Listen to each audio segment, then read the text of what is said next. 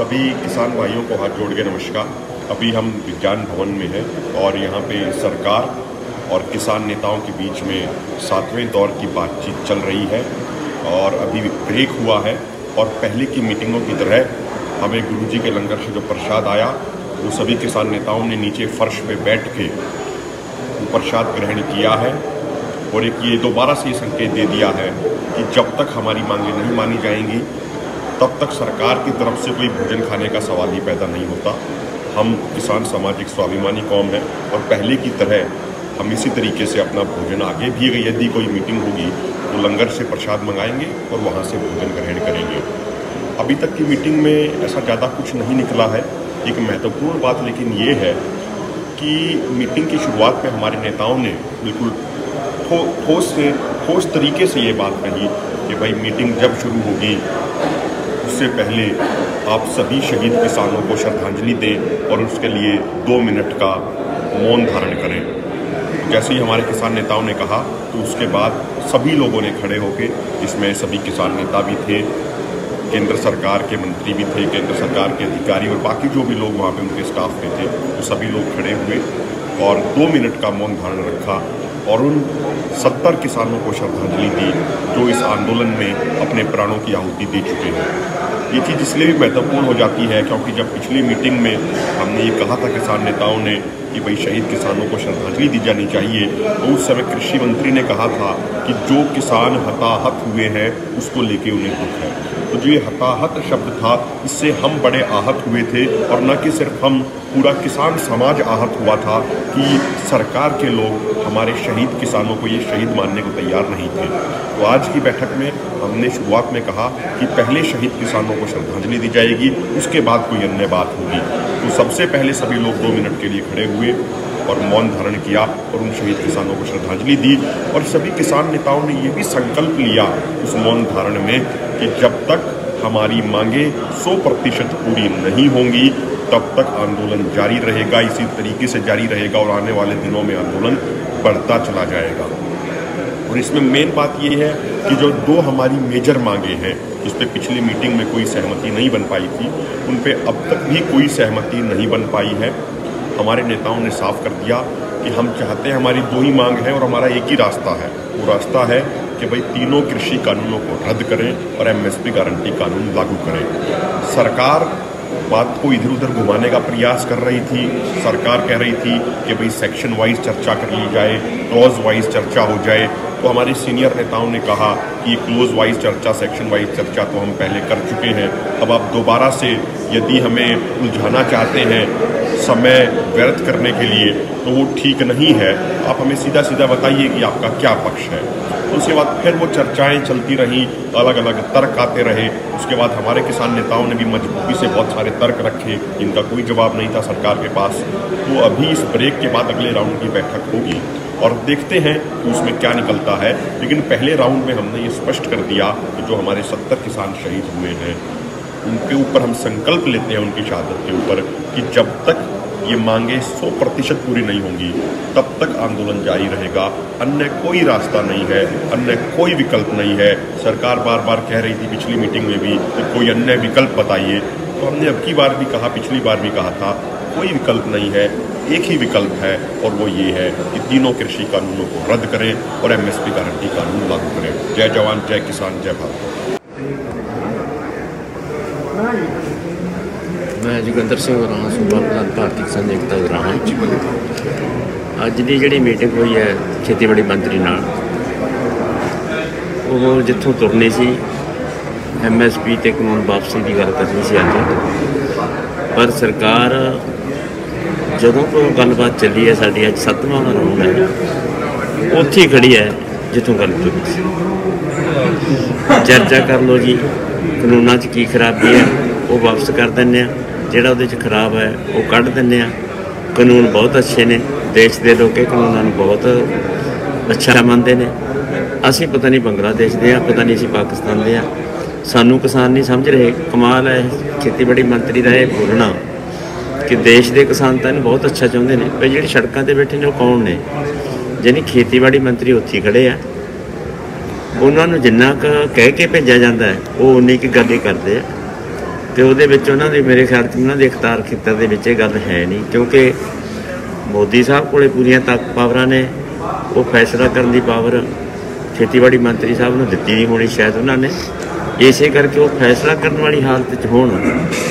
ਇਹ ਨਹੀਂ, ਇਸ ਕਰਕੇ ਇਹਨਾਂ ਹਾਲਤਾਂ ਦੇ ਵਿੱਚ ਮੀਟਿੰਗ ਕਰਨੀ ਸਰਕਾਰ ਦਾ ਜੇ ਤੌਰ ਤਰੀਕਾ ਜਿਹੜਾ ਇਸ ਤਰ੍ਹਾਂ ਦਾ ਲਟਕਾਉਣ ਵਾਲਾ ਜਿਹੜਾ, ਜਿਹੜੀ ਕਾਰਨ ਕਿਸੇ ਕਿਨਾਰੇ ਲਾਉਣ ਵਾਲਾ ਨਹੀਂ ਬਣਦਾ।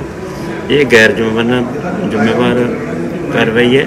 ਇਸ ਕਰਕੇ ਸਰਕਾਰ ਸੋਚ ਕੇ ਜਥੇਬੰਦੀਆਂ ਉੱਥੇ ਹੀ ਖੜੀਆਂ ਨੇ ਕਿ ਕਾਨੂੰਨ ਸਾਰੇ ਰੱਦ ਕਰੋ ਐਮਐਸਪੀ ਦਾ ਕਾਨੂੰਨ ਬਣਾਓ ਤੇ ਘਰਾਂ ਨੂੰ ਭੇਜੋ। ਸਾਡੇ 70 ਦੇ ਲਗਭਗ ਕਿਸਾਨ ਸ਼ਹੀਦ ਹੋ ਚੁੱਕੇ ਨੇ ਮੋਰਚੇ ਦੇ ਵਿੱਚ।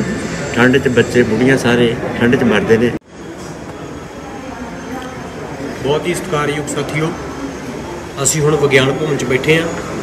ਸਰਕਾਰ ਨਾਲ ਜਿਹੜੀ ਗੱਲਬਾਤ ਚੱਲਦੀ ਪਈ ਸੀਗੀ, ਉਹਦੇ 'ਚ ਹੁਣ ਖਾਣੀ ਦੀ ਬ੍ਰੇਕ ਹੋਈ ਆ।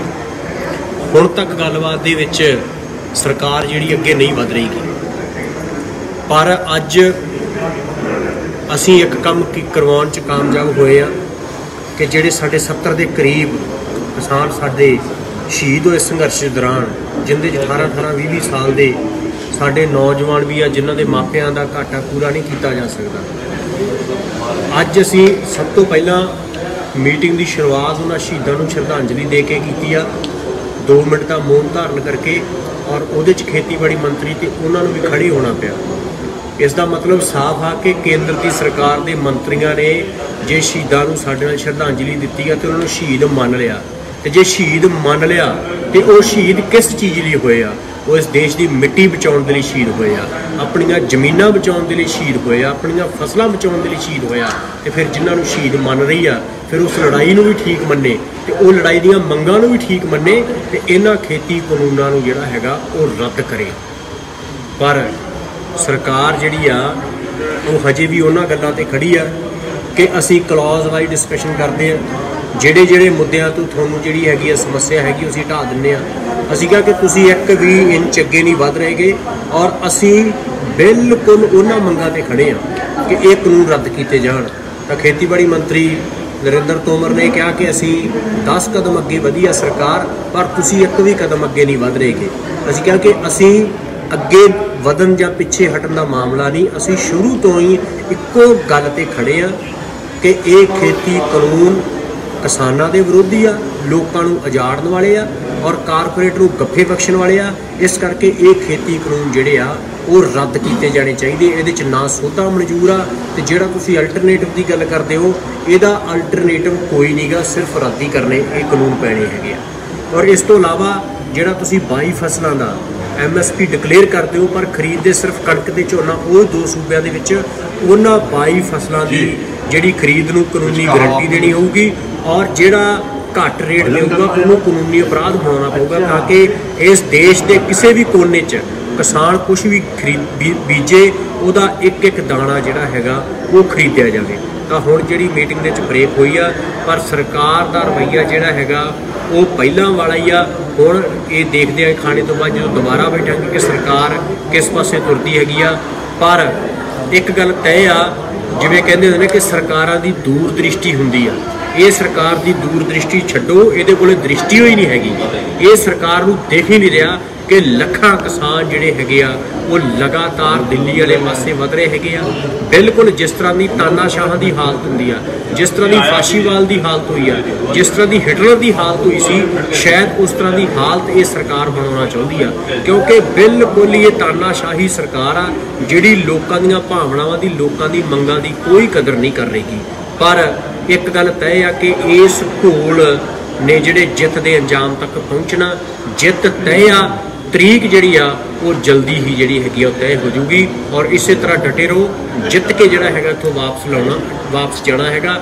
ਮੀਟਿੰਗ ਦੀ ਪੂਰੀ ਜਿਹੜੀ ਜਾਣਕਾਰੀ ਵੀ ਦੂਜੇ ਰਾਊਂਡ 'ਚ ਕੀ ਬਣਿਆ ਹੈਗਾ ਉਹ ਤੁਹਾਨੂੰ ਫੇਰ ਦੇਵਾਂਗੇ। ਫਿਲਹਾਲ ਤੱਕ ਸਰਕਾਰ ਇੱਕ ਵੀ ਕਦਮ ਅੱਗੇ ਜਿਹੜੀ ਨਹੀਂ ਵਧ ਰਹੀ। ਰਜਿੰਦਰ ਜੀ ਜੇ ਮੈਂ ਗੱਲ ਕਰਾਂ ਸਰਕਾਰ ਦਾ ਵਤੀਰਾ ਕਿਵੇਂ ਦਾ ਰਿਹਾ ਅੰਦਰ? ਇੱਕ ਗੱਲ ਕਰਨ ਦਾ ਲਿਹਾਜ਼ ਹੁੰਦਾ ਉਹ ਕਿਵੇਂ ਦਾ ਸੀ? ਦੇਖੋ ਸਰਕਾਰ ਦਾ ਵਤੀਰਾ ਤਾਂ ਸ਼ਬਦਾਂ ਤੋਂ ਨਹੀਂ ਉਹਨਾਂ ਦੇ ਸਟੈਂਡ ਤੋਂ ਜੱਜ ਕਰਨਾ ਚਾਹੀਦਾ ਹੈਗਾ ਕਿਉਂਕਿ ਜਿਹੜਾ ਉਹਨਾਂ ਦਾ ਸਟੈਂਡ ਹੈਗਾ, ਸਟੈਂਡ ਬੇਹੱਦ ਮਾੜਾ ਔਰ ਕਿਸਾਨ ਵਿਰੋਧੀ ਹੈਗਾ। ਜਦੋਂ ਅਸੀਂ ਇਹ ਕਿਹਾ ਕਿ ਮੱਧ ਪ੍ਰਦੇਸ਼ 'ਚ ਕਿਸਾਨਾਂ ਦੀ ਲੁੱਟ ਹੋ ਰਹੀ ਆ, ਬਿਹਾਰ 'ਚ ਕਿਸਾਨਾਂ ਦੀ ਲੁੱਟ ਹੋ ਰਹੀ ਆ, ਉਹ ਕਹਿੰਦੇ ਮੱਧ ਪ੍ਰਦੇਸ਼ ਤੇ ਤੇ ਬਿਹਾਰ ਦੇ ਕਿਸਾਨ ਤਾਂ ਸਾਡੇ ਨਾਲ ਹੈਗੇ ਆ। ਉੱਥੇ ਤਾਂ ਕੋਈ ਵਿਰੋਧ ਹੀ ਨਹੀਂ ਹੋ ਰਿਹਾ। ਜਦੋਂ ਅਸੀਂ ਕਿਹਾ ਕਿ ਜਿਹੜੇ ਬਿਹਾਰ ਦੇ ਪਟਨਾ ਦੇ ਵਿੱਚ ਹਜ਼ਾਰਾਂ ਕਿਸਾਨਾਂ ਨੇ ਵਿਰੋਧ ਕੀਤਾ, ਤੁਸੀਂ ਉਹਨਾਂ ਦੇ ਲਾਠੀ ਚਾਰਜ ਕੀਤਾ, ਉਹਨੂੰ ਤੁਸੀਂ ਕੀ ਮੰਨਦੇ ਹੋ? ਤੁਸੀਂ ਕਿੱਦਾਂ ਕਹਿ ਰਹੇ ਹੋ ਕਿ ਬਿਹਾਰ ਦੇ ਵਿੱਚ ਕੋਈ ਵਿਰੋਧ ਨਹੀਂ ਹੈਗਾਗਾ? ਬਿਹਾਰ ਦਾ ਜੋ ਕਿਸਾਨ ਨੂੰ 7-800 ਰੁਪਏ ਘੱਟ ਮਿਲਦਾ ਕਣਕ ਝੋਨੇ ਤੋਂ, ਉਹ ਮਜਬੂਰੀ ਵਸ ਜਿਹੜਾ ਪੰਜਾਬ 'ਚ ਲਿਆ ਕੇ ਵੇਚਦਾ ਹੈਗਾ। ਤੁਸੀਂ ਉੱਥੇ ਸਰਕਾਰੀ ਮੰਡੀਆਂ ਤਬਾਹ ਕਰਤੀਆਂ, ਉੱਥੋਂ ਦੀ ਕਿਸਾਨੀ ਤਬਾਹ ਕਰਤੀ ਹੈਗੀ ਆ। ਔਰ ਜਿਹੜਾ ਬਿਹਾ- ਪਟਨਾ 'ਚ ਏਡਾ ਵੱਡਾ ਅੰਦੋਲਨ ਹੋਇਆ, ਤੁਸੀਂ ਕਿਵੇਂ ਕਹਿ ਸਕਦੇ ਉੱਥੇ ਵਿਰੋਧ ਨਹੀਂ? ਤਾਂ ਇਹਦੇ ਤੇ ਖੇਤੀਬਾੜੀ ਮੰਤਰੀ ਨਰਿੰਦਰ ਤੋਮਰ ਨੇ ਕਿਹਾ ਕਿ ਰਾਜਨੀਤਿਕ ਪਾਰਟੀਆਂ ਉਹ ਤਾਂ ਕਰ ਰਹੀਆਂ ਨੇ, ਉਹ ਗਲਤ ਆ। ਫਿਰ ਜਦੋਂ ਅਸੀਂ ਕਿਹਾ ਕਿ ਜੇ ਰਾਜਨੀਤਿਕ ਪਾਰਟੀਆਂ ਜੋ ਕੁਝ ਕਰਦੀਆਂ, ਗਲਤ ਕਰਦੀਆਂ ਨੇ, ਫਿਰ ਤੁਸੀਂ ਵੀ ਤਾਂ ਰਾਜਨੀਤਿਕ ਪਾਰਟੀ ਹੋ। ਤੁਸੀਂ ਕਿਹੜਾ ਕੰਮ ਠੀਕ ਕਰ ਰਹੇ ਹੋ? ਤੁਸੀਂ ਵੀ ਤਾਂ ਗਲਤ ਕੰਮ ਹੀ ਕਰ ਰਹੇ ਹੋ। ਇਸ ਗੱਲ ਤੇ ਉਹਨਾਂ ਕੋਲੇ ਕੋਈ ਜਵਾਬ ਨਹੀਂ ਸੀ। ਧੰਨਵਾਦ। ਕਿਰਪਾ ਸਿੰਘ ਜੀ ਤੁਸੀਂ ਮੀਟਿੰਗ ਦੇ ਵਿੱਚ ਮੌਜੂਦ ਸੀ ਉੱਥੇ। ਆਪਣੇ ਕਾਈਂਡਲੀ ਪ੍ਰਤੀਕਰਮ ਜੋ ਤੁਹਾਡਾ ਹੈਗਾ, ਉਹ ਸ਼ੇਅਰ ਕਰੋ। ਦੇਖੋ, ਸਰਕਾਰ ਨੇ ਇੱਕ ਗੱਲ ਮੰਨੀ ਕਿ ਅਸੀਂ ਜਦੋਂ ਕਿਹਾ ਕਿ ਜਿਹੜਾ ਸਟੇਟ ਸਬਜੈਕਟ ਆ ਐਗਰੀਕਲਚਰ ਪਰ ਉੱਥੇ ਅੱਜ ਫਿਰ ਤੋਮਰ ਜੀ ਨੇ ਇਹੀ ਕਰ ਗਈ ਕਿ ਇਹ ਜਿਹੜਾ ਕਾਨੂੰਨ ਅਸੀਂ ਲੈ ਕੇ ਆਏ, ਅਸੀਂ ਟ੍ਰੇਡਿੰਗ ਦੀ ਲੈ ਕੇ ਆਏ ਔਰ ਸਾਡਾ ਸੈਂਟਰ ਦਾ ਅਧਿਕਾਰ ਸੀ। ਔਰ ਉਹਨੇ ਇਹ ਵੀ ਗੱਲ ਕਹੀ, ਹੁਣ ਜਿੱਥੇ ਲੱਗਦਾ ਕਿ ਜਿਹੜਾ ਪੇਜ ਉਹ ਸੁਪਰੀਮ ਕੋਰਟ ਵਿੱਚ ਫਸਾਉਣਾ ਚਾਹੁੰਦੇ ਉਹ ਕਹਿੰਦੇ ਵੀ ਜੇ ਤੁਹਾਨੂੰ ਲੱਗਦਾ ਅਸੀਂ ਗਲਤ ਕੁਝ ਕੀਤਾ, ਤਾਂ ਤੁਸੀਂ ਸੁਪਰੀਮ ਕੋਰਟ ਵਿੱਚ ਚਲੇ ਜਾਓ। ਇੱਥੇ ਸਰਕਾਰ ਦੀ, ਮੈਂ ਕਹਿੰਦਾ ਜਿਹੜੀ ਅੱਜ ਦੀ ਮੀਟਿੰਗ ਹੈ, ਉਹ ਸਾਡੀ ਮੈਨੂੰ ਤਕਰੀਬਨ ਜਿਹੜੀ ਲੱਗਦੀ ਕਿ ਬੇਸਿਕ ਹੀ ਰਹੂਗੀ ਪਿਛਲੀਆਂ ਮੀਟਿੰਗਾਂ ਨਾਲ। ਕਿਉਂਕਿ ਸਰਕਾਰ ਕੋਈ ਹੱਥ ਪੱਲਾ ਨਹੀਂ ਫੜਾ ਰਹੀ, ਪਰ ਅਸੀਂ ਫਿਰ ਵੀ ਉੱਥੇ ਆਪਣੀ ਜਦੋਜਹਿਦ ਜਾਰੀ ਹੈ, ਸਾਡੀ ਅੰਦਰ ਮੀਟਿੰਗ ਦੇ ਵਿੱਚ ਔਰ ਅਸੀਂ ਬਿਲਕੁਲ ਸਰਕਾਰ ਨੂੰ ਕਿਹਾ ਅਸੀਂ ਜਿੱਥੇ ਖੜੇ ਸੀ ਉੱਥੇ ਹੀ ਖੜੇ ਹਾਂ, ਤੁਸੀਂ ਇਹ ਜਲਦੀ ਤੋਂ ਜਲਦੀ ਕਾਨੂੰਨ ਰੱਦ ਕਰੋ, ਇਸ ਤੋਂ ਇਲਾਵਾ ਸਾਡੇ ਕੋਲ ਹੋਰ ਕੋਈ ਹੱਲ ਨਹੀਂ। ਕਿਰਪਾ ਸਿੰਘ ਜੀ, ਇੱਕ ਗੱਲ ਕਲੀਅਰ ਕਰ ਦਿਓ ਆਪਣੇ ਵਿਊਅਰਸ ਨੂੰ।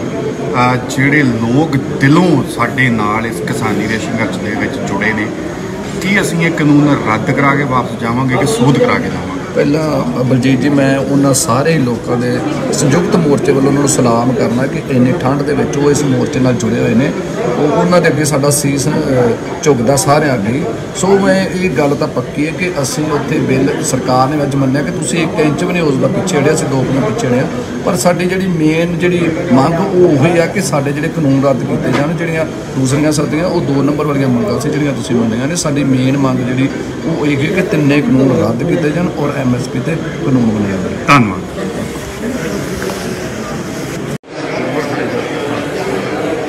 ਇਹ ਜਿਹੜਾ ਕਿਸਾਨ ਅੰਦੋਲਨ ਚੱਲ ਰਿਹਾ ਜਿਹੜਾ ਅੱਜ ਤਕਰੀਬਨ ਸਵਾ ਮਹੀਨਾ ਜਿਹਨੂੰ ਹੋ ਗਿਆ ਇਹਦਾ ਜੇ ਪਿਛੋਕੜ ਵੇਖੋ ਇਹ 8 ਮਈ ਤੋਂ ਸ਼ੁਰੂ ਹੋਇਆ। ਇੰਡੀਅਨ ਗਵਰਨਮੈਂਟ ਨੇ 8 ਮਈ ਨੂੰ ਇਹ ਜਿਹੜਾ ਬਿਜਲੀ ਸੋਧ ਬਿੱਲ 2020 ਇਹ ਬਣਾਇਆ ਸੀਗਾ। ਅਸੀਂ ਉਸੇ ਵੇਲੇ ਜਮਹੂਰੀ ਕਿਸਾਨ ਸਭਾ ਨੇ ਪਹਿਲ ਕਰਨੀ ਕਰਕੇ 17 ਮਈ ਨੂੰ ਸਾਰੇ ਪੰਜਾਬ 'ਚ ਐਕਸੀਅਨ ਪੱਧਰ ਦੇ ਉੱਤੇ ਬਿਜਲੀ ਵਾਲਿਆਂ ਦੇ ਵਿਰੁੱਧ ਇਹ ਧਰਨੇ ਲਾਏ। ਨਾਲੇ ਲੋਕਾਂ ਨੂੰ ਦੱਸਿਆ ਵੀ ਇਹ ਬਿਜਲੀ ਬਿੱਲ ਕੀ ਆ। ਅਸੀਂ ਇਹ ਦੱਸਣ 'ਚ ਕਾਮਯਾਬ ਹੋ ਗਏ, ਲੋਕੀ ਮੋਬਲਾਈਜ਼ ਹੋ ਗਏ, ਕਿਉਂਕਿ ਇਹ ਜਿਹੜਾ ਬਿਜਲੀ ਬਿੱਲ 2020 ਆ, ਇਹਦੇ ਵਿੱਚ ਜਿਹੜੇ ਬਿਜਲੀ ਦੇ ਰੇਟ ਆ, ਉਹ ਸਾਰਿਆਂ ਦੇ ਲਈ ਛੋਟੇ ਵੱਡੇ ਲਈ ਬਰਾਬਰ ਹੋਣੇ ਆ। ਤੇ ਘੱਟੋ ਘੱਟ 10 ਰੁਪਏ ਯੂਨਿਟ ਤੋਂ ਚੱਲਦੇ ਆ। ਇਹਦੇ ਨਾਲ ਹੀ ਇਹਦੇ ਵਿੱਚ ਜਿੰਨੀਆਂ ਸਬਸਿਡੀਆਂ ਰਹਿਤਾਂ ਨੇ, ਉਹ ਸਾਰੀਆਂ ਜਾਂਦੀਆਂ ਰਹਿਣੀਆਂ ਕਿਉਂਕਿ ਸੈਂਟਰਲ ਕਾਨੂੰਨ ਬਣ ਜਾਣਾ। ਜਿਹੜੀ ਪੰਜਾਬ ਦੇ ਵਿੱਚ 8000 ਕਰੋੜ ਦੀ ਸਬਸਿਡੀ ਟਿਊਬਵੈੱਲਾਂ ਨੂੰ ਮਿਲਦੀ, ਉਹ ਜਾਂਦੀ ਰਹਿਣੀ ਆ। ਇਸੇ ਤਰ੍ਹਾਂ ਜਿਹੜੀ 200 ਕਰੋੜ ਦੀ ਸਬਸਿਡੀ ਜਿਹੜੀ ਗਰੀਬਾਂ ਨੂੰ ਆ 200 ਯੂਨਿਟ ਦੀ, ਉਹ ਜਾਂਦੀ ਰਹਿਣੀ ਆ। ਇਸ ਤਰ੍ਹਾਂ ਹੋਰ ਜਿਹੜੀਆਂ ਬਿਜਲੀ ਦੇ ਵਿੱਚ ਰਹਿਤਾਂ ਨੇ ਕਾਰਖਾਨੇਦਾਰਾਂ ਨੂੰ ਜੇ ਰਾਤ ਨੂੰ ਬਿਜਲੀ ਚਲਾਉਣ ਤਾਂ ਉਹਦੇ ਘੱਟ ਰੇਟ ਲੱਗਦੇ ਵਗੈਰਾ ਵਗੈਰਾ ਜਾਂਦੀਆਂ ਰਹਿਣੀਆਂ। ਇਹ ਫਿਰ ਅਸੀਂ ਅੰਦੋਲਨ ਚਲਾਇਆ। ਅਜੇ ਸਾਡਾ ਅੰਦੋਲਨ ਸ਼ੁਰੂ ਹੋਇਆ ਸੀਗਾ।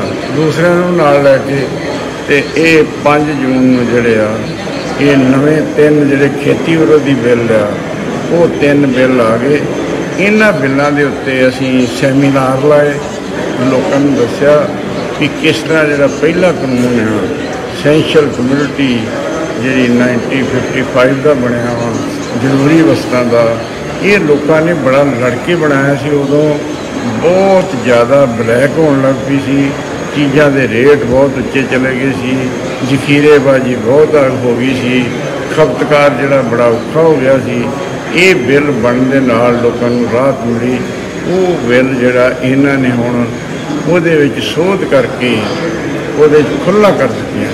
ਇਸੇ ਤਰ੍ਹਾਂ ਹੀ ਜਿਹੜੇ ਦੂਸਰੇ ਬਿੱਲ ਆ, ਜਿਹੜੀ ਮੰਡੀ ਰੈਗੂਲੇਟਡ ਮੰਡੀ ਚੱਲਦੀ ਆ, ਉਹਦੇ 'ਚ ਪ੍ਰਾਈਵੇਟਾਈਜੇਸ਼ਨ ਲੈਣ ਦੀ ਆ। ਪ੍ਰਾਈਵੇਟਾਈਜੇਸ਼ਨ ਦਾ ਮਤਲਬ ਹੀ ਹੁੰਦਾ ਵਾ ਵੀ ਗਵਰਨਮੈਂਟ ਆਪਣੇ ਸਾਰੇ ਹੱਥ ਵਿੱਚੋਂ ਕੱਢ ਲੈਂਦੀ ਆ। ਇਹੋ ਹੀ ਠੇਕਾ ਨੀਤੀ 'ਚ ਆ। ਸੋ ਇਸ ਕਰਕੇ ਦੋਵੇਂ ਬਿੱਲ ਨੇ ਇਹ ਬਹੁਤ ਖੇਤੀ ਵਿਰੋਧੀ ਆ। ਅਸੀਂ ਲੋਕਾਂ ਨੂੰ ਦੱਸਣ ਵਿੱਚ ਕਾਮਯਾਬ ਹੋ ਗਏ ਆ। ਜਿਹਦੇ ਨਾਲ ਇਹ ਮੋਬਿਲਾਈਜੇਸ਼ਨ ਹੋ ਗਈ। ਅਸੀਂ ਲਗਾਤਾਰ ਧਰਨੇ ਮੁਜ਼ਾਹਰੇ ਕੀਤੇ। 5 ਸਤੰਬਰ ਨੂੰ ਸਾਰੇ ਹਿੰਦੁਸਤਾਨ 4 ਘੰਟੇ ਸੜਕਾਂ ਦੀ ਆਵਾਜਾਈ ਰੋਕੀ। ਫਿਰ 25 ਤਰੀਕ ਨੂੰ ਭਾਰਤ ਬੰਦ ਦਾ ਐਲਾਨ ਕੀਤਾ ਗਿਆ, ਜਿਹੜਾ ਬੜਾ ਸਫਲ ਰਿਹਾ। ਬੜੇ ਉਹਦੇ 'ਚ ਲੱਖਾਂ ਲੋਕ ਸ਼ਾਮਲ ਹੋਏ। 23 ਸੂਬਿਆਂ ਦੇ ਕਿਸਾਨਾਂ ਨੇ ਮਜ਼ਦੂਰਾਂ ਨੇ ਹਿੱਸਾ ਲਿਆ। ਇਹਦੇ ਨਾਲ ਹੀ ਅਸੀਂ ਫਿਰ ਪਹਿਲੀ ਅਕਤੂਬਰ ਤੋਂ ਰੇਲ ਰੋਕੋ ਅੰਦੋਲਨ ਸ਼ੁਰੂ ਕਰ ਦਿੱਤਾ। ਉਹ ਚੱਲਦਾ ਰਿਹਾ। ਉਹਦੇ ਸਾਡੀ ਪਹਿਲੀ ਮੁਲਾਕਾਤ ਜਿਹੜੀ ਆ 14 ਅਕਤੂਬਰ ਨੂੰ ਸੈਕਟਰੀ ਪੱਧਰ ਤੇ ਹੋਈ। ਅਸੀਂ ਉਹਦਾ ਬਾਈਕਾਟ ਕੀਤਾ, ਕਿਉਂਕਿ ਉਹਦੇ ਵਿੱਚ ਮੰਤਰੀ ਕੋਈ ਨਹੀਂ ਸੀ ਬੈਠਾ। ਇਸ ਤਰ੍ਹਾਂ ਇਹ ਅੰਦੋਲਨ ਸਾਡਾ ਪੜਾਵਰ ਵੱਧਾ ਵੱਧਾ ਅਸੀਂ 27 ਤਰੀਕ 27 ਅਕਤੂਬਰ ਨੂੰ ਇੱਥੇ ਅਸੀਂ ਮੀਟਿੰਗ ਕੀਤੀ ਰਕਾਬਗੰਜ ਗੁਰਦੁਆਰੇ ਦੇ ਵਿੱਚ। ਉੱਥੇ ਅਸੀਂ ਫੈਸਲਾ ਕਰ ਲਿਆ ਵੀ ਅਸੀਂ 26 27 ਨਵੰਬਰ ਨੂੰ ਦਿੱਲੀ ਚੱਲੋ ਦਾ ਨਾਰਾ ਦੇ ਦਿੱਤਾ।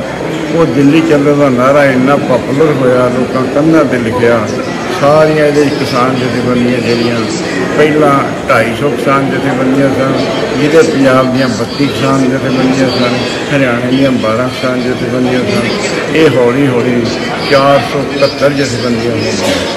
ਹੁਣ ਇਹ ਮੋਰਚਾ ਜਿਹੜਾ ਜਦੋਂ ਇੱਥੇ ਅਸੀਂ ਆ ਗਏ 27 ਤਰੀਕ ਨੂੰ, ਇਹ ਸਾਰੇ ਜਿਹੜੇ ਆ, ਠੀਕਰੀ ਉੱਤੇ ਵੀ ਇਸੇ ਤਰ੍ਹਾਂ ਇੱਥੇ ਕੁੰਡਲੀ ਬਾਰਡਰ ਦੇ ਉੱਤੇ ਆ ਗਏ, ਇਸੇ ਤਰ੍ਹਾਂ ਪਲਵਨ ਬਾਰਡਰ ਤੇ ਆ ਗਏ ਇਹ ਜੌਨਸਨ, ਆਪਣਾ ਸ਼ਾਹਜਹਾਨਪੁਰ ਦੇ ਵਿੱਚ ਆ ਗਏ। ਇਸ ਤਰ੍ਹਾਂ ਹੀ ਜਿਹੜਾ ਯੂਪੀ ਵਾਲੇ ਬੰਨੇ ਆ ਗਏ। ਸੋ ਇਸ ਵੇਲੇ ਜਿਹੜਾ 5 ਲੱਖ ਕਿਸਾਨ ਜਿਹੜੇ ਆ, ਦਿੱਲੀ ਦੇ ਆਲੇ ਦੁਆਲੇ ਨੇ, ਸਰਕਾਰ ਤੇ ਬਹੁਤ ਵੱਡਾ ਦਬਾਅ ਆ। ਸਰਕਾਰ ਦੇ ਨਾਲ ਜਿਹੜੀ ਆ ਸੱਤ ਗੇੜ ਦੀ ਗੱਲਬਾਤ ਹੋ ਚੁੱਕੀ ਆ। ਉਹਦੇ ਚ ਉਹਨਾਂ ਨੇ ਥੋੜਾ ਜਿਹਾ ਅੱਗੇ ਚੱਲੇ ਆ। ਵੀ ਅਸੀਂ ਤੁਹਾਡੇ ਜਿਹੜਾ ਬਿਜਲੀ ਸੋਧ ਬਿੱਲ 220 ਵਾਪਸ ਲਵਾਂਗੇ ਤੇ ਜਿਹੜਾ ਪਰਾਲੀ ਵਾਲਾ ਕਿਸਾਨਾਂ ਦੇ ਉੱਤੇ 1 ਕਰੋੜ ਰੁਪਈਆ ਜੁਰਮਾਨਾ ਤੇ 5 ਸਾਲ ਦੀ ਕੈਦ, ਉਹ ਅਸੀਂ ਵਾਪਸ ਲਵਾਂਗੇ ਇਸੇ ਤਰ੍ਹਾਂ ਜਿਹੜੀ ਆ, ਅਗਲੀ ਜਿਹੜੀ ਮੀਟਿੰਗ ਆ, ਉਹ ਹੋਣ ਜਾ ਰਹੀ ਆ। 4 ਤਰੀਕ ਨੂੰ ਵੇਖੋ ਉਹਦਾ ਕੀ ਰਿਜ਼ਲਟ ਨਿਕਲਦਾ। ਵੈਸੇ ਲੱਗਦਾ ਉਹ ਵੀ ਉਸ ਮੀਟਿੰਗ ਦੇ ਵਿੱਚ ਜਿਹੜਾ ਉਹ ਜਿਹਨਾਂ ਕੋਈ ਹੋਰ ਪੋਜ਼ਿਟਿਵ ਹੋਊਗਾ। ਸੋ ਇਸ ਤਰ੍ਹਾਂ ਅੰਦੋਲਨ ਜਿਹੜਾ ਹੈ ਵੱਧਦਾ ਗਿਆ, ਇਸ ਅੰਦੋਲਨ ਨੇ ਰਾਜਨੀਤਿਕ ਬਹੁਤ ਵੱਡਾ ਪ੍ਰਭਾਵ ਪਾਇਆ। ਇਹ ਸਮਾਜਿਕ ਤੌਰ ਤੇ ਬਹੁਤ ਵੱਡਾ ਪ੍ਰਭਾਵ ਪਾਇਆ। ਰਾਜਨੀਤਿਕ ਤੌਰ ਤੇ ਸਾਰੇ ਦੇਸ਼ ਵਿੱਚ ਉਥਲ ਪੁਥਲ ਸ਼ੁਰੂ ਹੋ ਗਈ ਆ। ਬਹੁਤ ਸਾਰੀਆਂ ਜਿਹੜੀਆਂ ਪਾਰਟੀਆਂ ਉਹਨਾਂ ਵਿੱਚ ਭੱਜ ਹੋਈ ਇਸ ਤਰ੍ਹਾਂ ਅਕਾਲੀ ਦਲ ਦੇ ਵਿੱਚ ਭੱਜ ਹੋਈ, ਉਹਨਾਂ ਨੇ ਬੀਜੇਪੀ ਤੋਂ ਨਾਤਾ ਜੋੜਿਆ ਇਸੇ ਤਰ੍ਹਾਂ ਇਹਦੇ ਵਿੱਚ ਬਿਹਾਰ ਦੇ ਵਿੱਚ ਹੋਈ ਆਪਣੇ ਗੁਜਰਾਤ ਦੇ ਵਿੱਚ ਜਿਹੜਾ ਮੋਦੀ ਦਾ ਸੂਬਾ, ਉਹਦੇ ਚ ਕੈਂਪੀ ਨੇ ਸ਼ੁਰੂ ਦਿੱਤਾ ਇਹ ਲਗਾਤਾਰ ਕੁਝ ਭੱਜ ਚੱਲ ਰਹੀ ਆ। ਇਹ ਮੋਰਚਾ ਜਿਹੜਾ, ਇਹਦੀ ਲਾਮਬੰਦੀ ਹੋ ਰਹੀ ਆ ਕਿ ਕਿਸਾਨਾਂ ਦੇ ਨਾਲ ਕੌਣ ਖੜਾ ਤੇ ਮੋਦੀ ਦੇ ਨਾਲ ਕੌਣ ਖੜਾ। ਸੋ ਇਸ ਕਰਕੇ ਮੋਦੀ ਦਾ ਪੱਲਾ ਹੌਲਾ ਹੁੰਦਾ ਜਾਂਦਾ, ਕਿਸਾਨਾਂ ਦਾ ਪੱਲਾ ਜਿਹੜਾ ਭਾਰਾ ਹੁੰਦਾ ਜਾਂਦਾ। ਇਸੇ ਤਰ੍ਹਾਂ ਸਮਾਜਿਕ ਤਬਦੀਲੀ ਆ ਗਈ। ਜਦੋਂ ਲੋਕ ਇਕੱਠੇ ਹੁੰਦੇ ਆ, ਇਕੱਠੇ ਬੈਠਦੇ ਆ ਉਹਦੇ ਨਾਲ ਲੋਕਾਂ ਦੀਆਂ ਆਪਸ ਵਿੱਚ ਮਿਲਵਰਤਨ ਵੱਧਦਾ, ਭਾਈਚਾਰਕ ਸਾਂਝ ਪੈਂਦੀ ਆ। ਇੱਥੇ ਨੌਜਵਾਨ ਮੁੰਡੇ, ਮੈਂ ਰਾਤੀ ਇੱਕ ਰੋਟੀ ਖਾ ਰਿਹਾ ਸੀਗਾ। ਉਹਦੇ ਵਿੱਚ ਇੱਕ ਸਰਪੰਚ ਫੇਰੂਮਾਨ ਦਾ, ਇੱਥੇ ਫੇਰੂਮਾਨ ਨੇ ਬੜਾ ਲੰਮੀ 73 ਦਿਨ ਦੀ ਕੋਈ ਕੀਤੀ ਸੀ। ਉਸ ਪਿੰਡ ਦਾ ਸਰਪੰਚ ਮਲੂਕ ਸਿੰਘ, ਉਹ ਰੋਟੀਆਂ ਵੇਲ ਰਿਹਾ ਸੀ ਤੇ ਰੋਟੀਆਂ ਪਕਾ ਰਿਹਾ ਸੀ। ਕੁਝ ਮੁੰਡੇ ਜਿਹੜੇ ਆ, ਉਹ ਸਬਜ਼ੀ ਬਣਾ ਰਹੇ ਸੀ। ਕੁਝ ਮੁੰਡੇ ਖੀਰ ਬਣਾ ਰਹੇ ਸੀ। ਸੋ ਇਹਦੇ ਨਾਲ ਸਮਾਜਿਕ ਪਰਿਵਰਤਨ ਵੀ ਆ ਗਿਆ, ਲੋਕਾਂ ਦੇ ਰਹਿਣ ਸਹਿਣ ਵਿੱਚ ਵੀ ਆਉਣ ਵਾਲੇ ਸਮੇਂ 'ਚ ਬੜੀ ਤਬਦੀਲੀ ਆਵੇਗੀ। ਇਹ ਮੈਂ ਇਹ ਕਹਿਣਾ ਚਾਹੁੰਦਾ ਮੀਡੀਆ ਰਾਹੀਂ ਆਈਟੀਆਈ ਸੈੱਲ ਰਾਹੀਂ ਕਿ ਇਹ ਇੱਕ ਅੰਗਰੇਜ਼ਾਂ ਨੂੰ ਕੱਢਣ ਤੋਂ ਬਾਅਦ ਆਰਥਿਕ ਮੁੱਦੇ ਦੇ ਉੱਤੇ ਇੱਕ ਪਹਿਲੀ ਜੰਗ ਜਿਹੜੀ ਆ ਸ਼ੁਰੂ ਹੋ ਗਈ ਆ। ਇਹਦੀ ਜਿਹੜੀ ਆ ਜਿੱਤ ਵਸ਼ ਹੋਣੀ ਆ, ਉਹਦੇ ਬਾਅਦ ਆਉਣ ਵਾਲੇ ਸਮੇਂ ਦੇ ਵਿੱਚ ਲੋਕ ਬੇਰੁਜ਼ਗਾਰੀ ਦੇ ਉੱਤੇ, ਮਹਿੰਗਾਈ ਦੇ ਉੱਤੇ, ਭ੍ਰਿਸ਼ਟਾਚਾਰ ਦੇ ਉੱਤੇ, ਆਪਣੀ ਸਿੱਖਿਆ ਨੀਤੀ ਦੇ ਉੱਤੇ, ਹਸਪਤਾਲਾਂ ਦੇ ਉੱਤੇ, ਇਹ ਜ਼ੋਰ ਲੱਗੂਗਾ ਕਿ ਇਹ ਪਬਲਿਕ ਸੈਕਟਰ ਵਿੱਚ ਹੀ ਹੋਣ ਤਾਂ ਕਿ ਲੋਕਾਂ ਨੂੰ ਇਹ ਮੁਫਤ ਸਹੂਲਤਾਂ ਮਿਲਣ ਤੇ ਫਿਰ ਆਉਣ ਵਾਲੇ ਸਮੇਂ ਦੇ ਵਿੱਚ ਸਭ ਲਈ ਵਿਦਿਆ, ਸਿਹਤ ਤੇ ਰੁਜ਼ਗਾਰ ਜਿਹੜਾ, ਇਹਦੀ ਗਰੰਟੀ ਮਿਲੇ, ਇਹ ਬਹੁਤ ਵੱਡੀ ਗੱਲ ਹੈ। ਇੱਕ ਇਹਦੇ 'ਚ ਵੱਡੀ ਪ੍ਰਾਪਤੀ ਇਹ ਹੋਈ ਆ ਕਿ ਜਿਹੜੀ ਐਮਐਸਪੀ ਆ ਇਹ ਦੇਸ਼ ਭਰ ਦੇ ਹੈਗਾ ਲੋਕਾਂ ਨੇ ਮੰਗ ਕੀਤੀ ਆ। ਹਾਂਜੀ। ਅੱਜ ਸਾਡੀ ਸੰਯੋਗ ਮੋਰਚੇ ਦੀ 7ਵੀਂ ਮੀਟਿੰਗ ਸਰਕਾਰ ਨਾਲ ਹੋ ਰਹੀ ਹੈ। ਸਰਕਾਰ ਸਟੈਪ ਬਾਈ ਸਟੈਪ ਬੈਕਵਰਡ ਤੇ ਹੈ। ਕਿਸਾਨਾਂ ਦੀ ਐਜੀਟੇਸ਼ਨ ਤੇ ਲੋਕ ਹਮਾਇਤ ਜਿਹੜੀ ਹੈ ਲਗਾਤਾਰ ਵੱਧ ਰਹੀ ਹੈ। ਉਹਦੇ ਸਿੱਟੇ ਵਜੋਂ ਸਰਕਾਰ ਹੌਲੀ ਹੌਲੀ ਹੌਲੀ ਹੌਲੀ ਮੰਗਾਂ ਮੰਨਣ ਨੂੰ ਤਿਆਰ ਹੁੰਦੀ ਹੈ ਅਸੀਂ ਚਾਹੁੰਦੇ ਹਾਂ 70 ਕਿਸਾਨ ਸਾਡੇ ਸ਼ਹੀਦ ਹੋ ਚੁੱਕੇ ਆ। ਸਰਕਾਰ ਹੋਰ ਕਿੰਨੀਆਂ ਕੁ ਸ਼ਹਾਦਤਾਂ ਚਾਹੁੰਦੀ ਹੈ ਇਹ ਉਹਨੂੰ ਸੋਚਣਾ ਚਾਹੀਦਾ। ਇੱਕ ਸ਼ਹਾਦਤ ਦਾ ਮੁੱਲ ਵੀ ਜਿਹੜਾ ਆ, ਤਾਰਿਆ ਨਹੀਂ ਜਾ ਸਕਦਾ ਤੇ ਰੋਜ਼ ਸਾਡੀਆਂ ਇੱਕ ਦੋ ਲਾਸ਼ਾਂ ਇੱਥੋਂ ਜਾ ਰਹੀਆਂ। ਅਸੀਂ ਚਾਹੁੰਦੇ ਸਰਕਾਰ ਨੂੰ ਇਮੀਡੀਏਟ ਉਹ ਮੰਗਾਂ ਜਿਹੜੀਆਂ ਇਹਨਾਂ ਨੇ ਗੈਰ ਕਾਨੂੰਨੀ ਢੰਗ ਨਾਲ ਪਾਸ ਕੀਤੀ ਹੈ ਬਿੱਲ ਉਹ ਰੱਦ ਕਰਨੇ ਚਾਹੀਦੇ ਆ। ਕਿਸਾਨਾਂ ਨਾਲ ਰਹਿ ਕਰਕੇ ਨਵੇਂ ਬਿੱਲ ਲਿਆਉਣੇ ਲੈ ਆਉਣ। ਇਹ ਜਿਹੜਾ ਅਸੈਂਸ਼ੀਅਲ ਕਮੋਡਿਟੀ ਐਕਟ ਵੀ ਰੱਦ ਕਰਨਾ ਚਾਹੀਦਾ, ਜਿਹੜਾ ਕੰਟਰੈਕਟ ਫਾਰਮਿੰਗ ਆ, ਉਹ ਕਿਸਾਨ ਕਰੇ ਨਾ ਕਰੇ, ਸਰਕਾਰ ਦੀ ਕਿਸੇ ਤਰ੍ਹਾਂ ਦੀ ਅਸੀਂ ਕਿਸੇ ਨਾਲ ਸਮਝੌਤਾ ਕਰੀਏ। ਤੀਜਾ ਜਿਹੜਾ ਪ੍ਰਾਈਵੇਟ ਪਲੇਅਰ ਮਾਰਕੀਟ 'ਚ ਲਿਆ ਰਿਹਾ ਆ, ਉਹਨਾਂ ਨੂੰ ਨਹੀਂ ਲਿਆਉਣਾ ਚਾਹੀਦਾ, ਸਰਕਾਰ ਆਪ ਖਰੀਦ ਕਰੇ, ਜਿਹੜੇ ਲੋੜ ਪਾਉਂਦੇ ਆ ਪਬਲਿਕ ਡਿਸਟ੍ਰੀਬਿਊਸ਼ਨ ਸਿਸਟਮ ਰਾਹੀਂ ਲੋਕਾਂ ਨੂੰ ਅਨਾਜ ਦੇਵੇ, ਤੇ ਜਿਹੜੇ ਜਿਨ੍ਹਾਂ ਸੂਬਿਆਂ 'ਚ ਅਨਾਜ ਨਹੀਂ ਪੈਦਾ ਹੁੰਦਾ, ਉਹਨਾਂ ਨੂੰ ਸਰਕਾਰ ਖੁਦ ਦੇਵੇ, ਜਿਹੜਾ ਪੁਰਾਣਾ ਸਿਸਟਮ ਆ। ਇਹਦੇ ਨਾਲ ਹੀ ਘੱਟੋ ਘੱਟ ਸਹਾਇਕ ਕੀਮਤ ਫਿਕਸ ਹੁੰਦੀ ਆ, ਘੱਟੋ ਘੱਟ ਨੂੰ ਕਹਿੰਦੇ ਆ ਇਦੋਂ ਥੱਲੇ ਨਹੀਂ ਕੀਮਤ ਹੋਣੀ ਚਾਹੀਦੀ। ਉਹ ਤਾਂ ਰੁਕ- ਬਣਦੀ ਆ ਜੇ ਸਰਕਾਰ ਵਿੱਚ ਹੋਵੇ ਮੈਦਾਨ 'ਚ। ਨਹੀਂ ਤਾਂ ਕੁਆਲਿਟੀ ਦੇ ਨਾਂ ਤੇ ਲੋਕਾਂ ਨੂੰ ਲੁੱਟ ਰਹੀ ਹੈ ਪ੍ਰਾਈਵੇਟ ਪਲੇਅਰ ਘੱਟੋ ਘੱਟ ਸਹਾਇ ਕੀਮਤ C2 50% ਪ੍ਰੋਫਿਟ ਦੇ ਨਾਲ ਫਿਕਸ ਕੀਤੀ ਜਾਵੇ ਤੇ ਸਰਕਾਰੀ ਖਰੀਦੀ ਗਾਰੰਟੀ ਕੀਤੀ ਜਾਵੇ। ਇਹ ਚਾਰ ਕਾਨੂੰਨ ਸਾਡੇ ਰਹਿੰਦੇ ਆ। ਪੰਜਾਬ ਨਾਲ ਸੰਬੰਧਿਤ ਪਰਾਲੀ ਦਾ ਜਿਹੜਾ ਕਰੋੜ ਦਾ ਜੁਰਮਾਨਾ ਸੀ, ਬਿਜਲੀ ਬਿੱਲ ਜਿਹੜੇ ਸਾਨੂੰ ਫ੍ਰੀ ਮਿਲਦੇ ਸੀ, ਉਹ ਨਹੀਂ ਮੰਨੇ ਆ ਪਿਛਲੀ ਵਾਰੀ, ਪਰ ਉਹ ਲਿਖਤੀ ਹਾਲੇ ਸਾਨੂੰ ਮਿਲਿਆ ਨਹੀਂ, ਮਿਲ ਜੋ, ਕੋਈ ਗੱਲ ਨਹੀਂ ਉਹ ਏਡੀ ਗੱਲ। ਇਹ ਸਲੋ ਸਪੀਡ ਤੇ ਸਰਕਾਰ ਚੱਲ ਰਹੀ ਹੈ। ਜੇ ਸਰਕਾਰ ਦੀ ਸਪੀਡ ਇਹ ਰਹੀ ਤੇ 26 ਜਨਵਰੀ ਦਾ ਮਾਰਚ ਦਿੱਲੀ ਦੇ ਵਿੱਚ ਇਤਿਹਾਸਕ ਮਾਰਚ ਹੋਊਗਾ ਬਹੁਤ ਵੱਡੀ ਪਰੇਡ ਹੋਊਗੀ 20 ਲੱਖ ਕਿਸਾਨਾਂ ਦਾ ਇਹ ਤੇ ਇਕੱਠ ਹੋਊਗਾ ਫਿਰ ਸਰਕਾਰ ਲਈ ਵੀ ਮੁਸ਼ਕਲ ਹੋਊ ਤੇ ਕਿਸਾਨਾਂ ਦੀ ਮਜਬੂਰੀ ਹੋਊਗੀ ਮਾਰਚ ਕਰਨੀ ਸੰਧੂ ਸਾਹਿਬ ਜਿਹੜੇ ਅੱਜ ਦੇ ਮੀਟਿੰਗ ਦੇ ਏਜੰਡੇ ਨੇ ਉਹ ਮੇਨ ਕੀ ਰਹਿਣਗੇ? ਅਸੀਂ ਸੈਂਕੁਐਸ ਇਹਨਾਂ ਨੂੰ ਭੇਜਿਆ ਜੀ ਸੀਕੁਐਂਸ ਬਾਈ ਕਰ ਰਹੇ ਹਾਂ। ਪਹਿਲੇ ਤਿੰਨ ਕਾਨੂੰਨ ਆ ਜਿਹੜੇ ਸਰਕਾਰ ਨੇ ਪਾਸ ਕੀਤੇ ਆ। Essential commodity act contract farming and Mandi act ਜਿਹੜਾ ਹੈ। ਉਹ ਤਿੰਨ ਆ, ਚੌਥਾ ਐਮਐਸਪੀ ਹੈ। ਚਾਰ ਚਾਰ ਆ ਅੱਜ ਦੇ ਬੰਦੇ ਸਾਡੇ। ਅਸੀਂ ਸੀਕੁਐਂਸ ਉਹੀ ਰਹੂਗਾ ਸਾਡਾ। ਉਹ ਨਹੀਂ ਮੰਨਦੇ ਜੇ ਰੌਲਾ ਰੱਪਾ ਪਾਉਣ ਤੋਂ ਬਾਅਦ ਅਗਲੇ ਚੱਲ ਜਾਾਂਗੇ ਉਹ ਦੋ ਅਗਲੇ ਚੱਲ ਜਾਾਂਗੇ ਜੋ ਮੰਨਣਗੇ ਉਹ ਸਹੀ। ਪਰ ਇਹਨਾਂ ਨੂੰ ਰੱਦ ਕਰਾਏ ਬਿਨਾਂ ਕਿਸਾਨਾਂ ਨੇ ਵਾਪਸ ਨਹੀਂ ਜਾਣਾ, ਕਿਉਂਕਿ ਜਿੰਨੀ ਲੋਕਾਂ ਨੇ ਸਪੋਰਟ ਦਿੱਤੀ ਆ, ਜਿੰਨੇ ਲੋਕ ਤਨੋ ਮਨੋ ਧਨੋ ਹਮਾਇਤ ਕਰ ਰਹੇ ਆ ਇੱਥੋਂ ਤੱਕ ਹਰਿਆਣੇ ਦੇ ਲੋਕਾਂ ਨੇ ਆਪਣੇ ਕਾਰੋਬਾਰ ਬੰਦ ਕਰਕੇ ਸਾਡੇ ਲਈ ਦਰਵਾਜ਼ੇ ਖੋਲ੍ਹ ਦਿੱਤੇ ਆ, ਇੰਨੀ ਹਮਾਇਤ ਕਦੇ ਨਹੀਂ ਹੋਈ। ਇੱਕ ਨੌਜਵਾਨ ਨੇ ਹਰਿਆਣੇ ਦੇ ਨੇ। ਵਜ਼ੀਰ ਜੀ, ਤੁਹਾਡੀ ਉਮਰ ਦਾ ਮੁੰਡਾ ਆ ਜਿਹੜੇ ਕੋਈ ਜਾਨਵਰ ਪਾਲਣਾ, ਕੋਈ ਪੁੱਤ ਪਾਲਣਾ ਬਰਾਬਰ ਹੁੰਦਾ। ਕੋਈ ਪੁੱਤਾਂ ਨਾਲੋਂ ਵੀ ਜ਼ਿਆਦਾ ਤੇਜ਼ ਨਾ ਪਾਲੀ ਮੱਝ 51 ਲੱਖ ਦੀ ਵੇਚ ਕੇ ਲੰਗਰ ਦੇ ਵਿੱਚ ਲਾਤੀ ਪਰਸੋਂ ਦੋ ਮੁੰਡੇ ਆਏ ਆ 26 ਖੇਤ ਉਹਨਾਂ ਦੇ ਕਣਕ ਦੇ ਆ। ਉਹ ਕਹਿੰਦੇ, ਇੱਕ ਵੀ ਦਾਣਾ ਮੰਡੀ 'ਚ ਨਹੀਂ ਜਾਣਾ ਸਾਰਾ ਲੰਗਰ ਚਲਾਉਣਾ ਇਦਾਂ ਦੀ ਹਮਾਇਤ ਕਦੇ ਅਸੀਂ ਅੰਦਾਜ਼ਾ ਨਹੀਂ ਸੀ ਲਾਇਆ। ਜਦੋਂ ਅਸੀਂ ਤੁਰੇ ਸੀ ਅਸੀਂ ਸਮਝਦੇ ਲੱਖ ਡੇਢ ਲੱਖ ਬੰਦਾ ਚੱਲ ਜਾਊਗਾ ਪਰ ਅੱਜ ਤੁਹਾਡੇ ਸਾਹਮਣੇ 5 ਲੱਖ ਬੰਦਾ ਪਹੁੰਚ ਗਿਆ ਤੇ 26 ਨੂੰ 20 ਲੱਖ ਤੋਂ ਵੱਧ ਰੋਕ ਤੇ ਪਹੁੰਚਣਾ ਸੰਧੂ ਸਾਹਿਬ ਜਿਹੜੇ ਨਜਾਇਜ਼ 452 307 ਦੇ ਪਰਚੇ ਹੁਸ਼ਿਆਰਪੁਰ ਪ੍ਰਸ਼ਾਸਨ ਨੇ ਦਿੱਤੇ ਆ ਉਹ ਗੋਆ ਸੁੱਟਣ ਕਰਕੇ ਉਹਦੇ ਬਾਰੇ ਤੁਹਾਡਾ ਕੀ ਪ੍ਰਤੀਕਰਮ ਹੈ? ਦੇਖੋ ਉਹਨੂੰ ਕੰਡੈਮ ਕਰਦੇ ਆ ਪਰਚੇ ਬਣਨਾ ਮਾਈਨਰ ਚੀਜ਼ਾਂ ਐਜੂਕੇਸ਼ਨ ਚ। ਜੇ ਕਿਸੇ ਐਜੂਕੇਸ਼ਨ ਪਰਚਾ ਹੀ ਨਹੀਂ ਹੁੰਦਾ ਵੀ ਐਜੂਕੇਸ਼ਨ ਕਾਦੀ ਹੋਈ। ਅਸੀਂ ਤਾਂ ਕਹਿੰਦੇ ਆ ਅਸਲੀ ਲੀਡਰ ਵਾ ਜੇ ਤੇ 10 ਪਰਚੇ ਹੋਣ। ਪਰਚੇ ਰੱਦ ਕਰਾਉਣਾ ਮਾਈਨਰ ਗੱਲਾਂ ਹੈ। ਇਹ ਸਬਸਿਡੀ ਹੈ ਜੇ ਅਸੀਂ ਮੰਗਾਂ ਛੱਡ ਕੇ ਪਰਚਿਆਂ ਵੱਲ ਤੌਰ 'ਤੇ ਰੱਦ ਕਰੋ ਉਹ ਤਾਂ ਹੁਣ ਕਰ ਦੇਣ ਮੈਂ ਇਸ ਕਰਕੇ ਕਿਉਂਕਿ ਤੁਸੀਂ ਉਹਨਾਂ ਨੂੰ ਕੋਈ ਦਿਲ ਨਾ ਛੱਡੇ ਹਿੰਮਤ ਨਾ ਹਾਰੇ ਕਿ ਸਾਰੀਆਂ ਯੂਨੀਅਨਾਂ ਨਾਲ ਆ ਕੁਝ ਵੀ ਇਹ ਕਰ ਲੈਣ। ਜਿੱਦਣ ਜ਼ਰੂਰਤ ਪਊ ਉਦੋਂ ਕੈਨਸਲ ਕਰਾ ਲਾਂਗੇ ਇਸ ਵੇਲੇ ਸਾਰਾ ਮਾਈਂਡ ਅਸੀਂ ਇਹਨਾਂ ਨੂੰ ਕੰਡੈਮ ਕਰ ਚੁੱਕੇ ਆ ਪਹਿਲਾਂ ਮੀਡੀਆ ਰਾਹੀਂ। ਅੱਜ ਵੀ ਅਸੀਂ ਉਹਨਾਂ ਨੂੰ ਕਹਿੰਦੇ ਆ ਵੀ ਪਰਚੇ ਰੱਦ ਕਰਾਉਣਾ ਬਾਏਂ ਹੱਥ ਕਾ ਕੰਮ ਆ ਸਾਡਾ। ਕੋਈ ਸਮੱਸਿਆ ਨਹੀਂ। ਪਰਚੇ ਤਾਂ ਇੱਕ ਦਿਨ ਦਾ ਕੰਮ ਹੈ ਪੰਜਾਬ ਸਰਕਾਰ ਨੇ ਰੱਦ ਕਰਨੇ ਆ। ਕੋਈ ਪੰਜਾਬ ਸਰਕਾਰ ਸੈਂਟਰ ਹੀ ਝੁਕਾਇਆ ਪੰਜਾਬ ਸਰਕਾਰ ਕੀ ਚੀਜ਼ ਹੈ? ਇੱਕ ਲੋਕਾਂ ਦਾ ਹੋਰ ਸਵਾਲ ਆ ਰਿਹਾ ਸੀਗਾ ਵੀ ਜਿਹੜੀ ਕੱਲ ਲਾਠੀ ਚਾਰਜ ਕਿਸਾਨਾਂ ਤੇ ਰਵਾੜੀ ਦੇ ਕਿਸਾਨਾਂ ਤੇ ਵੀ ਹੋਇਆ ਉਹ ਸਰਕਾਰ। ਦੇ ਇਸ਼ਾਰੇ ਤੇ ਹੋਇਆ ਜਾਂ ਕਿੱਦਾਂ ਹੋਇਆ? ਉਹਨੂੰ ਅੱਜ ਇੱਥੇ ਮੀਟਿੰਗ ਦੇ ਵਿੱਚ ਰੱਖਿਆ ਜਾਊਗਾ ਵੀ ਇਹ ਕਿਉਂ ਹੋਇਆ? ਨਹੀਂ ਮੀਟਿੰਗ ਵਿੱਚ ਤਾਂ ਹੀ ਰੱਖਾਂਗੇ। ਪਿਛਲੀ ਵਾਰੀ ਰੱਖਿਆ ਸੀਗਾ ਜਿਹੜੇ ਤਿੰਨ ਚਾਰ ਸਟੇਟਾਂ ਨੇ ਕੀਤਾ ਸੀਗਾ ਉੱਤਰਾਖੰਡ ਵਾਲੇ ਨੇ ਯੂਪੀ ਵਾਲਿਆਂ ਨੇ। ਬੜਾ ਉੱਤਰਾਖੰਡ ਦਾ ਸਭ ਤੋਂ ਖਤਰਨਾਕ ਕੰਮ ਆ। ਜਿਹੜੀਆਂ ਜ਼ਮੀਨਾਂ ਉਹਨਾਂ ਦੀਆਂ ਅਟੈਚ ਹੋਈਆਂ ਸੀ, ਉਹਨਾਂ ਦੇ ਨਾਂ ਹੋਈਆਂ ਸੀਗੀਆਂ, ਉਹ ਡਿਸਅਟੈਚ ਕਰ ਰਹੇ ਉਹ ਅਸੀਂ ਮੁੱਦਾ ਰੱਖਿਆ ਸੀ ਨਹੀਂ ਅਸੀਂ ਕਰਾਂਗੇ। ਹਰਿਆਣੇ ਵਾਲਿਆਂ ਨੇ ਜਿਹੜੇ ਪਰਚੇ ਦਰਜ ਕੀਤੇ 307 ਵਾਲੇ, ਉਹ ਮੁੱਦਾ ਵੀ ਰੱਖਿਆ ਸੀ, ਇਹ ਮੁੱਦੇ ਵੀ ਰੱਖਾਂਗੇ। ਜਿਵੇਂ ਵਜ਼ੀਰ ਜੀ ਮੈਂ ਤੁਹਾਨੂੰ ਪਹਿਲਾਂ ਕਿਹਾ, ਇਹ ਬਹੁਤ ਛੋਟੀਆਂ ਗੱਲਾਂ ਇਸ ਸੰਘਰਸ਼ਾਂ ਵਿੱਚ। ਜਿੱਡਾ ਵੱਡਾ ਸੰਘਰਸ਼ ਆ, ਇਹਦੇ 302 ਦੇ ਪਰਚੇ ਹੋਣੇ। 307 ਕੁਝ ਵੀ ਨਹੀਂ ਹੈ ਅਸੀਂ 302 ਦੇ ਪਰਚੇ ਚੱਲੇ ਆ, ਰੇਲਵੇ ਦੇ ਵਿੱਚ ਤਿੰਨ ਪਾਰਟੇ ਆ। ਇਹ ਮਾਇਨਰ ਗੱਲ ਹੈ ਧੰਨਵਾਦ ਸੰਧੂ ਸਾਹਿਬ